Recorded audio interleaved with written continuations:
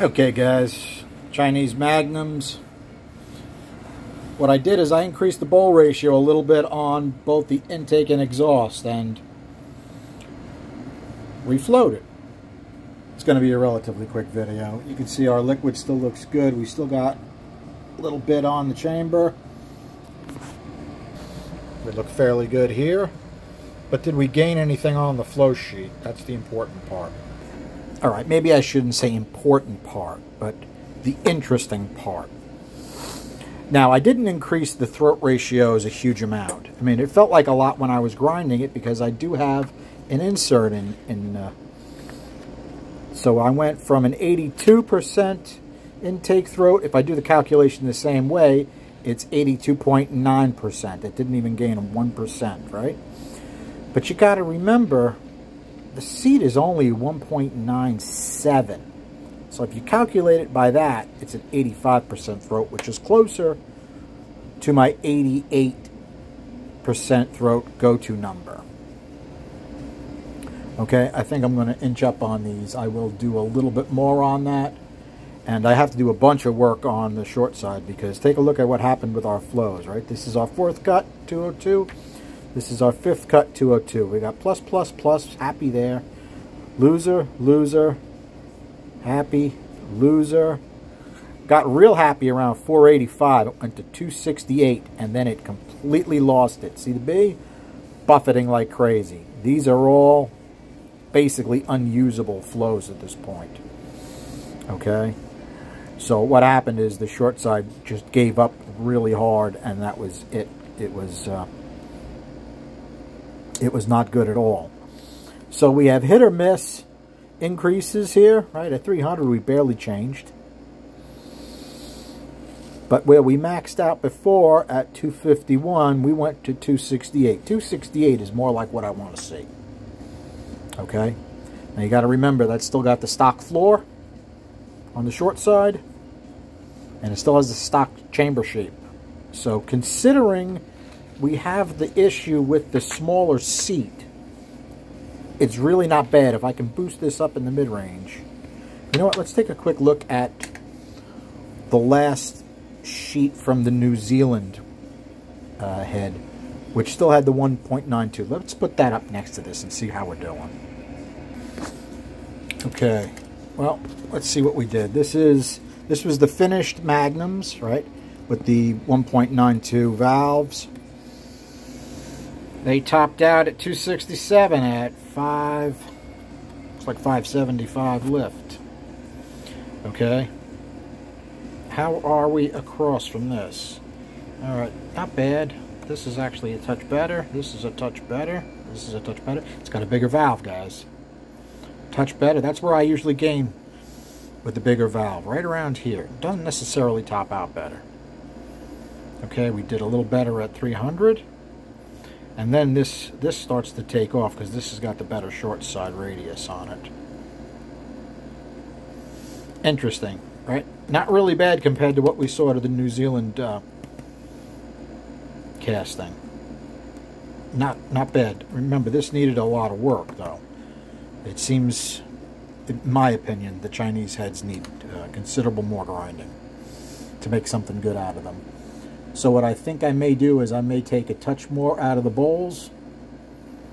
Actually, you know what? I won't. We didn't go over the airspeeds. Let's go over the airspeeds. You'll see what happened. The airspeeds went crazy. Okay, these are our fourth cut 202. That's when I first put the 202 valve in there. Right, and now I open the bowl ratio. We'll take a look what happened. First of all, I had to take all of our, our my readings at a half inch lift because by 6 inch it had completely separated and those airspeeds aren't going to be any good. Now it was starting to separate here already too at 600 but it didn't sound as horrendous. So these flows are really moving like 268. Okay, these speeds. So you can see our pinch gained a huge amount. Okay. Because in reality, it's going from like 234 to 268. So you would expect it to go up. Okay. That's what our roof was. Our roof both got pluses. And that's what our short side was. way up, okay?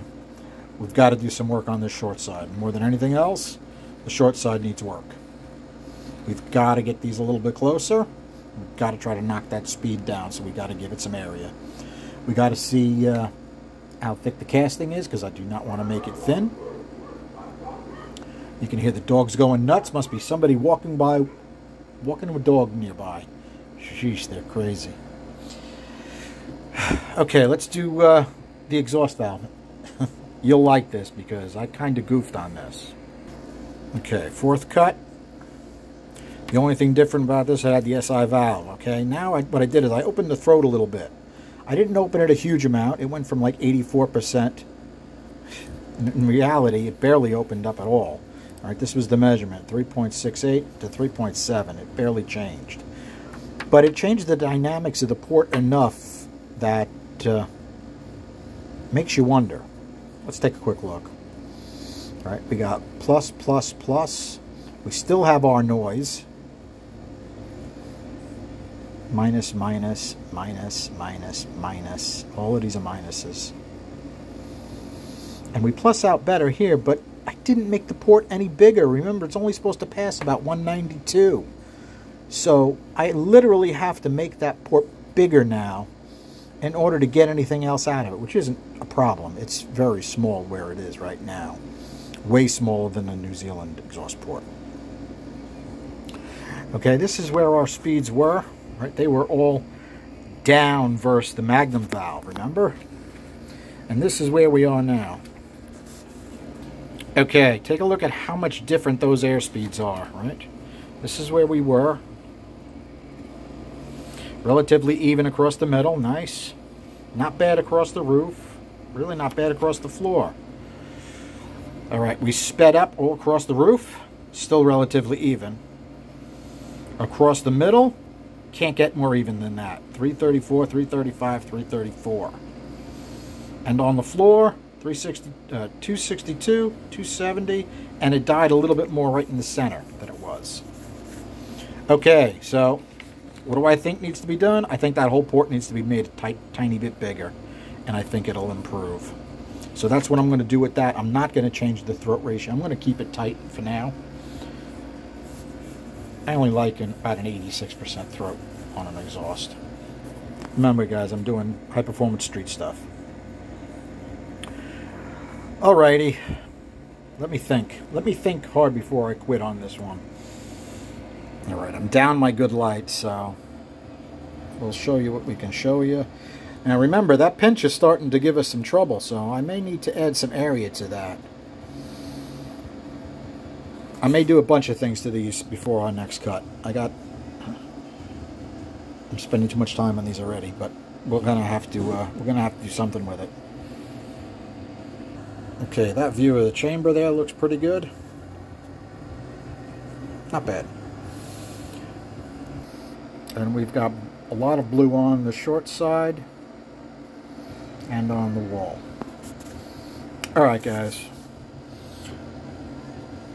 I promised I'd keep this one short. It really is interesting, though. You know what we're going to do? We're going to take a quick look at the difference in the bowl size of the stock Magnum versus this one.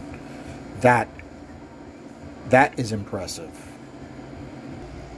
Okay, so these calipers are set by the size of the Chinese castings right in here. This has got a much more gradual curve to the valve seat. Remember, the other one's got a, a heavy insert in there, so it's it comes out more this way. Now, I could shrink it up some more. When you're doing that, though, you're taking away strength from the insert. It's still almost stock size, so I don't think it's really a problem at this point. But uh, I like to be conservative because I like stuff that lasts. All right, guys. You know what? I'd like some some input from guys that know inserts better than I do. How thin do they push them?